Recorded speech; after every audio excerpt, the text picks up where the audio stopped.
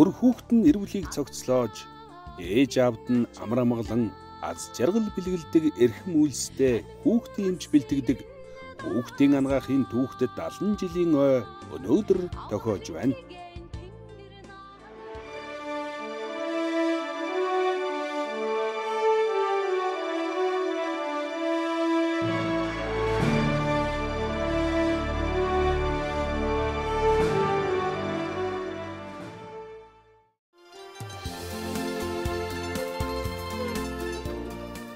Энэ бол хүүхдийн эмч нарын агуу сэтгэлийн, агуу зүтгэлийн илэрхийлэл, түүхэн замнал юм. Хүүхдийн эмч гэдэг хамгаас хүндтэй, бас хамгаас хүнд мэрэгжилдээ үнэнч чин сэтгэлээсээ зүтгэж салбраа чимж яваа эрхэм та нараараа бахарх үе байхын аргагүй. Төрлөг сургуулийнхаа хүүхдийн тэнхмийн үе үеийн эрдэмтэн багш нар мэрэгжил нэгт хүүхдийн эмч нар та бүхэндээ баярлалаа. Тийм ээ. Эдгэрсэн хүүхдийн харцанд зүрх нь инээмсэглэж, ээжийнх нь баярлсан сэтгэлд итгэлэн бялхаж, ургаж буй ирээдүйн гигэн хүсэлтэй ургах нарыг хамтдаа өгцсөн да. Сэмэрч баярладаг, сэтгэл нь гийдэг, жаалхан хүүхэд шиг жаргаж хөөрдөг хүүхдийн эмч та итгэл айдвар билээ. Хүүхдийн эмчийн мэрэгжил эгэлгүй мэрэгжил билээ.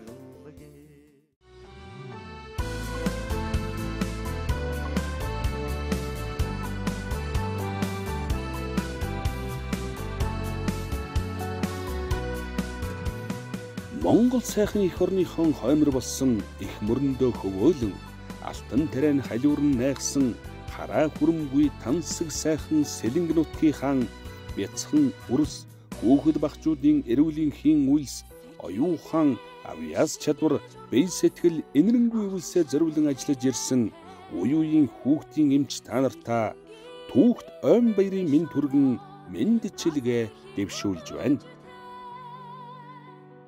Манай Сэлэнг аймгийн хүүхдийн эмч нар бас их онцлог. Хүүхдийн энэ түүхэн замналыг аваад үцгэд одоо манай хамгийн ахмад эмч маань 86 настай 67 оны хүүхдийн анхны эмч нарын нэг маань одоо байж байна. 1963 онд Петруш гэж эмчилгээний анги төгссөн хүнээр удирдуулсан анхны одоо эмнэлэг бий болсон юм байлээ. Төсөв хөрөнгөө өөртөө зарцуулдаг ийм эмнэлэг болсон. Эхлээд бол 20 ортой 12 ажилчинтай хоёр эмчтэй энд Петруш эмч, Мендбаяр эмч нар ажиллаж гурван ээлжийн соёлогч, гурван асрагч, угаагч, тогооч мөн няруу гих мэтийн бүрэлдэхүүнтэй одоо байгуулагдж байсан.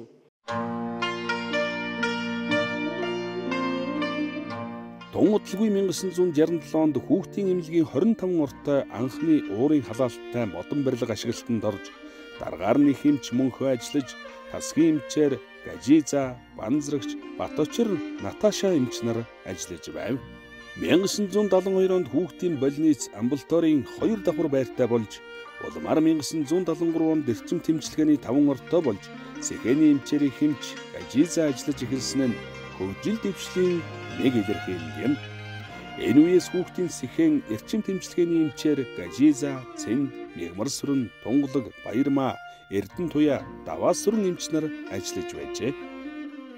Анх бол би хүүхдийн эмчийн анги төгсөөд Сэлэнг аймгийнхан зүүн бүрэн цагаан нур сумуудад хүүхдийн эмчээр ажиллаж агаад 1984 онд энэ Сэлэнг аймгийн нэгдсэн эмнэлэгт тасаг дээр ирж исэн. Тэр үед бол өвчлөл маш их манай хүүхдийн эмч эмч нар бол халдвартын засагтайгаа хамтж урт гардаг. Тэгээ Асын дуудлагантаа бас явна.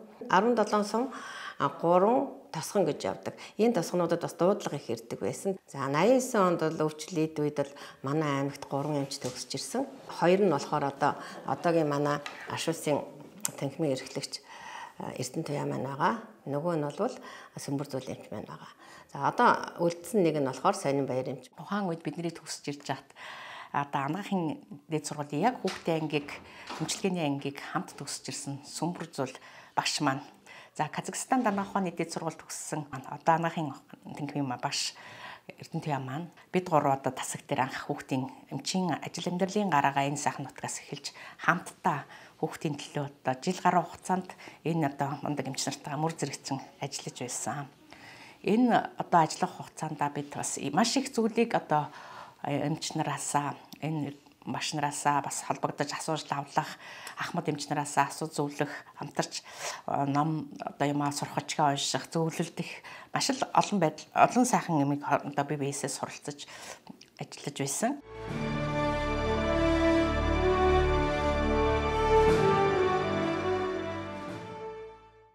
Миний одоо хүүхдээ эмчиж явах үед бол хүн амын одоо сууршил нэгтршил бас харьцангуй бага байжээ. Одоо бол харьцангуй бүх юм өөрчлөлтөнтэй холбогдоогоор хүүхдийн өвчлөл болон хүүхдийн эрүүл мэндийн байдал тавих хяналт бол арай илүү сайн хөгжиж залуу сайхан эмчнэр төгсөж олон үе үеийнхэн эмчнэр олон залуу сайхан эмчнэртэйгээ хамтран ажиллаж эхийг одоо сурч мэдж байгаадаа бас баяртай байна.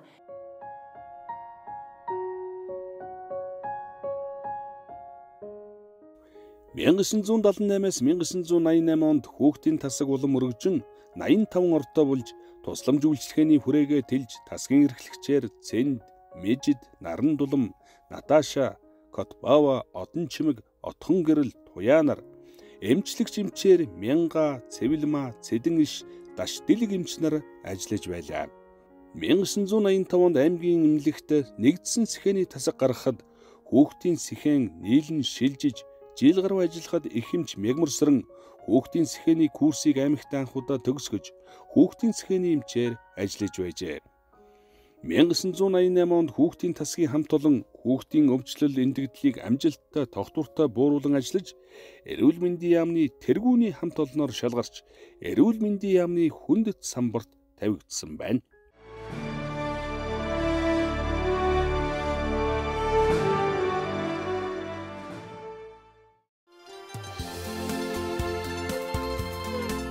1980-ад оны дундуур хүүхдэд үзүүлэх тусламж үйлчилгээг өргөжүүлэн төрөх тасгийн яра хүүхдүүдийг тасгийн эмчнэр гажиза, наран долом, одон чимэг эмчнэр үзэж байгаад орон тооны ниран эмчтэй болж их эмч, гажиза эмч ажиллаж байсан нь хүүхдийн төрөлдсөн мэрэгжлийн тусламжийн хөгжлийн түүхийн суурийг тавьжээ.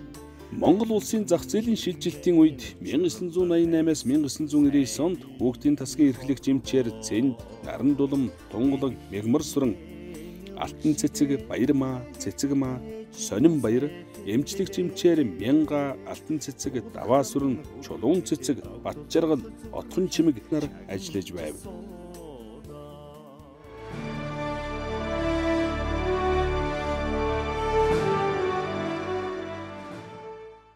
1994 онд төгсч ирээд одоо нутагтаа ирээд аймгийнхаа нэгдсэн эмнэлэгт одоо өрхийн эмчээр ажиллаж ажлынхаа гарааг эхэлсэн. За ингээд нийтдээ 14 жил одоо өрхийн эмчээр би ажиллаж байгаад ингээ 2008 оноос арьс гооцлын эмчийн курс яваад арьсны эмч мэрэгжил эзэмшээд арьсны эмч зэрэг ажлыг хийж агаад За 2011 онд одоо эмчилгээ эрхлсэн орлогч даргуулсан. За нийтээ эмчилгээ эрхлсэн орлогч даргаар нийтээ бол 10 жил ажилласан байгаа. -аас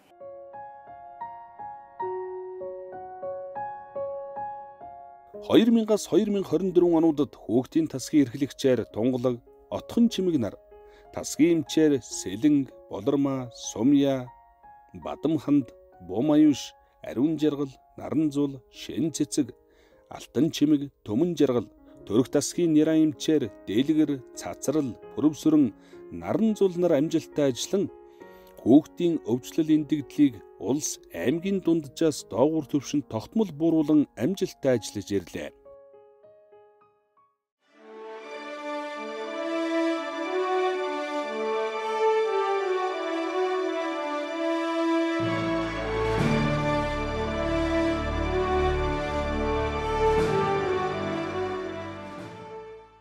2018 оноос хойш бол яаралтай тусламжийн хэсэг гэд ингээд нийт үндсэндээ 3 бүрэлдэхүүн хэсэгтэйгээр хүүхдийн тасгын ажиллаж байгаа. Нийт одоогоор манай тасагт 8 сувилагч, 3 эмч, нэг туслах сувилагч, нэг үйлчлэгч гэсэн юм бүрэлдэхүүнтэйгээр Сэлэнг аймгийнхаа 0-аас 16 насны хүүхдүүдэд тусламж үйлчилгээг үзүүлэн ажилладаг. Манай нэгдсэн эмнэлэгт хүүхдийн 7 эмч байдаг. 7 эмчийн 2 нь няраамч, а нэг эрчим дэмжлэгээний эмч, тэгээд амбулаторт өсвөр үеийн кабинет дээр нэг эмч, амбулаторын хүүхдийн кабинет дээр нэг эмч, тасагтаа ингээ гурван эмч гэдэг ингээд ажилладаг байгаа. Жилдээ ер нь бол 1200-аас 1300 хүүхэд хэвтэн эмчлүүлдэг. Энэ нийт хэвтэн эмчлүүлж байгаа хүүхдийн маань нэг 30-аас 40 За зарим жил нэг 50 50 хүүхэд бол эрчим дэмжлэгээр дамжин эмчлүүлдэг байгаа. А яаралтай тусламжийн тасгаар бол манайх 6000-аас нэг 6100-аас нэг 6300-гийн хооронд хүүхэд бол жилдээ тусламж үйлчилгээ авсан байдаг юм аа.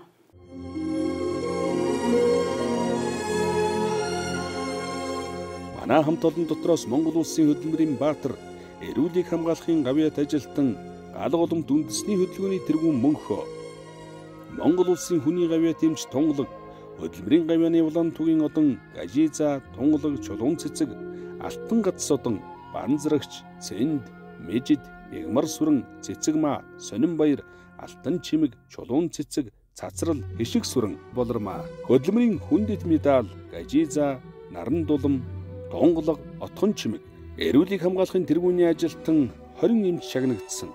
Та нарын алдар шуулан бахархан дурсаж баярлснаа илэрхийлэхэд сайхан байна.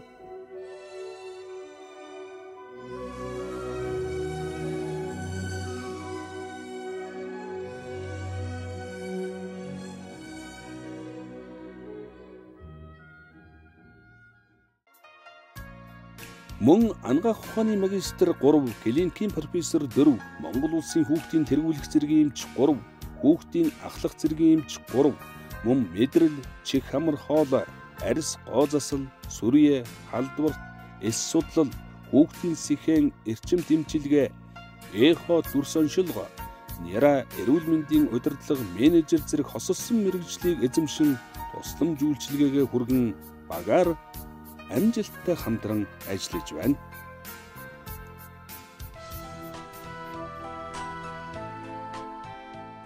Анагаахын шинжлэх ухааны их сургуулийн хүүхдийн анагаахын танхим үүсчэгдсэний түүхт 70 жилийн ойн баярын өдрөөрөө манай аймгийн нэгдсэн эмнэлгийн хүүхдийн эмч нарын нэг 1967 оны анагаах ухааны дээд сургуулийн хүүхдийн эмчийн 3 дахь төгсөгч Ахмад эмч Гомбын банзрагч Монголын хүүхдийн анагаахын академийн хүндэт гишүүн болж улсдаа мэрэгжил нэгт хүүхдийн эмч нараас анх удаа энэхүү хүндтэй шагналыг авлаа. Мөн ангаах ухааны магистр хүүхдийн тэргүүлэх зэргийн эмч клиникийн профессор Цэнгэлийн Сонин баяр Монгол улсын төрийн дээд шагнал хөдөлмөрийн гавьяаны улаан түгийн одонгоор хүүхдийн эмч Дэмбэрлийн болормаа алтан гац одонгоор тус тус шагнаглаа. Буман хөөхөн ялахыг ангаан тэтгэж дээдэлсэн алаг нүдэн үрсүүдийг эмчлэн сувилж эрүүлжүүлсэн хүүхдийн эмч та нартаа эрүүлэнх аз жаргал хүүхдийн хөөхөн инээмсэглэл баяр хөөргийг бэлгэлье.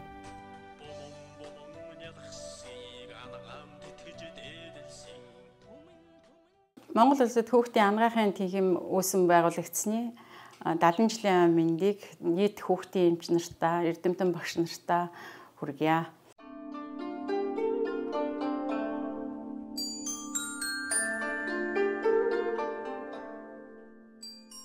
Түүхийн тавцанд туулж өнгөрүүлсэн энэ 70 жилийн цаг хугацаанд хүүхдийн эрүүлийн амьдралын төлөө ажил амьдралаа зориулан өнөөдрийг бүтээгчид ирээдүг үргэлжлүүлэгчид 3 цагийн хэлхэнд түүхээ баяжуулан бүтээж явна.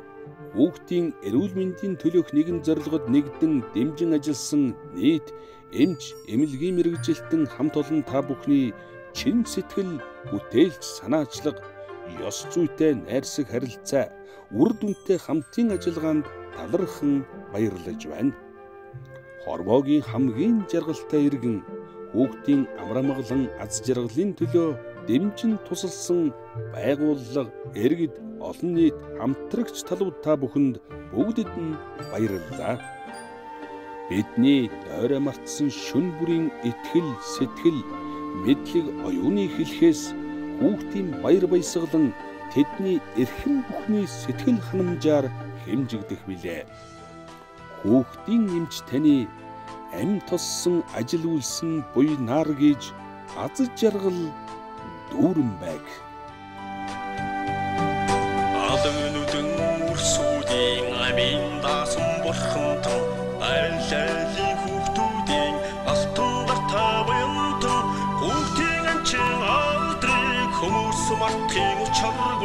Хүүхэд шиг ариун сэтгэлийн хүнлэн дэдлэх гүчээр тай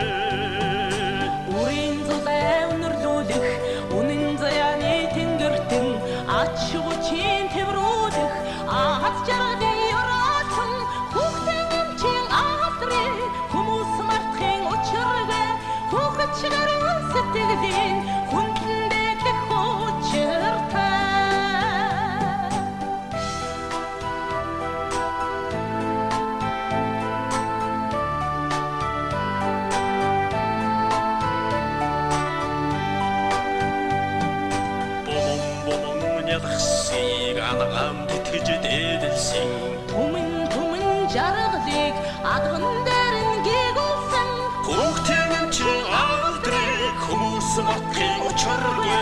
Хүүхэд шиг ариун сэтгэлийн хүнлэн дэдлэх хүчээр тай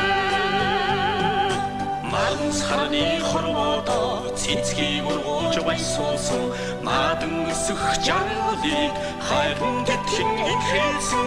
Хүүхдийн эмчийн алдрыг хүмүүс мартахын учиргүй хүүхэд шиг ариун сэтгэлийг хүнлэн дэдлэх